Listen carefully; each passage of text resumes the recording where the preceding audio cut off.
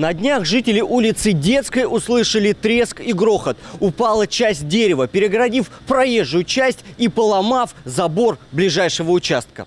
Также были повреждены линии электропередач. Спустя несколько часов на место выехали специальные службы. Подачу электричества восстановили, проезжую часть освободили. Но отломленная часть дерева, которая не была сразу ликвидирована, продолжила беспокоить жильцов ближайших домов. Улица идет от станции, катаются дети, ходят люди. И куда она упадет, одному Богу известно дальше.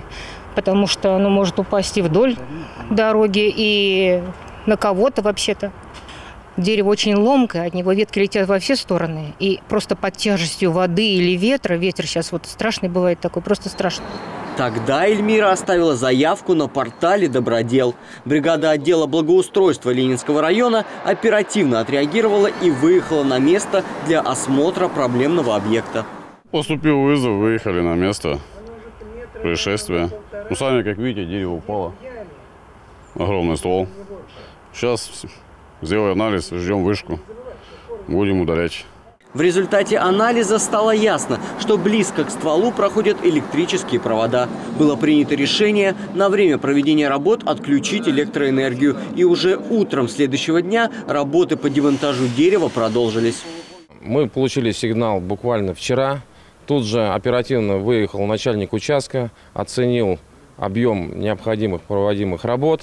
И сегодня мы уже, организовав взаимодействие со, специальными службами, я имею в виду Мосэнергосбыт, э, будем демонтировать вот этот опасный участочек. Работа она обычная, для нас привычная, поэтому особых проблем не будет. Но еще раз говорю, что чтобы оперативно решать все эти вопросы, жители уже знают, что надо обращаться на портал Добродел. И это в очередной раз пример активной позиции граждан. Заявки с портала быстро обрабатываются и принимаются к сведению соответствующими службами. Не стоит забывать, что наше благополучие зависит от нас самих. Алексей Мельников, Владимир Бежонов, Сергей Ларин. Видное ТВ.